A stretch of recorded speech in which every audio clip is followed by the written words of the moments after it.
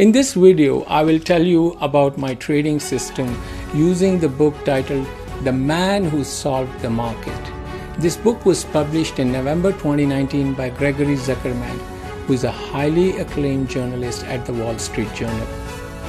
This is a book about how James Simons used applied mathematics to create the greatest money making machine in Wall Street history.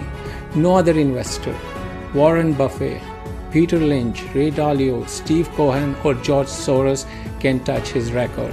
Since 1988, his fund has generated average annual returns of 66%. Zuckerman believes Simons is worth $23 billion. Early in his career, Simons realized that he could use mathematical models to predict stock prices.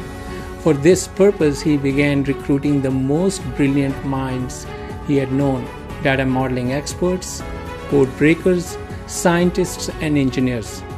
Simons and his team used computer models and big data before Mark Zuckerberg and his peers had a chance to finish kindergarten.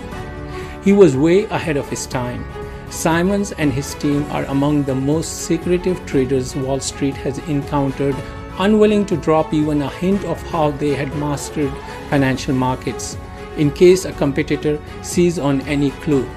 This is a book many thought could never be written, but Zuckerman made it possible. What excites me about this book is the fact that Simons and his team went through similar trials and tribulations that I have encountered when working on my trading formula.